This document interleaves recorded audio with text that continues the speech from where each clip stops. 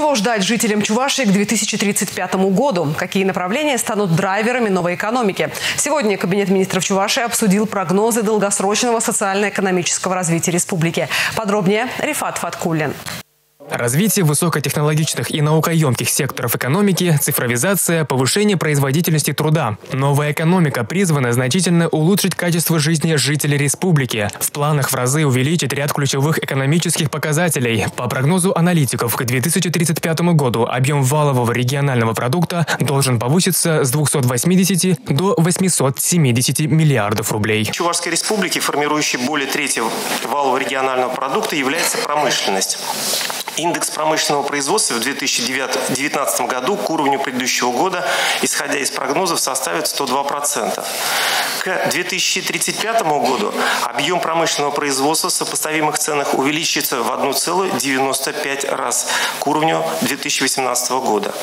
Развитие экономики нового типа будет опираться на масштабную системную программу развития экономики нового технологического поколения, так называемой цифровой экономики. Ожидается технологический прорыв в электротехнической отрасли, машиностроительном и химическом комплексах. Изменения затронут сферы здравоохранения, образования и сельского хозяйства. В приоритете также увеличение объемов строительства жилья.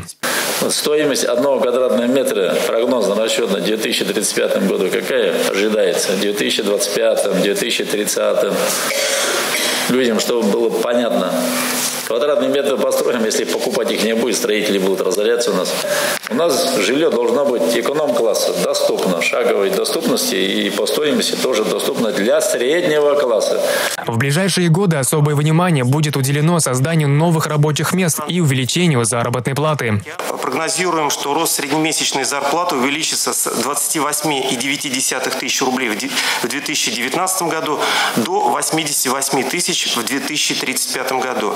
В 3,3 раза а, к 2018 году. Это больше, чем по России. Приоритеты в области развития рынка труда в 2035 году будут направлены на создание условий для обеспечения экономики республики высококвалифицированными кадрами и повышения эффективности их использования, а также на снижение уровня безработицы, развитие кадрового потенциала организации, эффективное трудоустройство молодых специалистов. Предприятия республики продолжат наращивать экспортные поставки и реализовывать инвестиционные проекты.